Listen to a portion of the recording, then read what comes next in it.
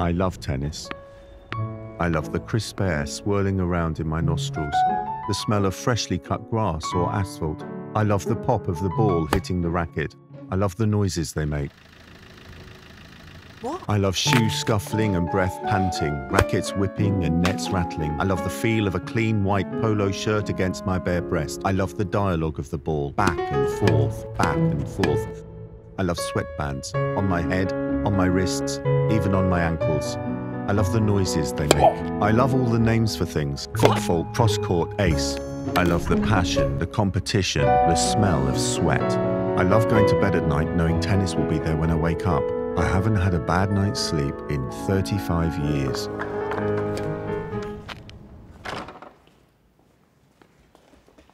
Sorry, excuse me. Thanks.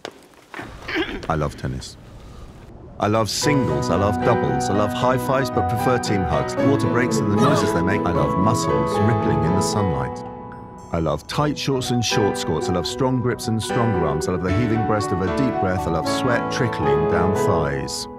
I love watching, I love watching. I hate playing, but love watching. I love a deuce, I love a juice, especially when they can't find a straw. I hate football, I hate rugby, I hate hockey, I hate swimming, I hate badminton, I hate chess. I love tennis.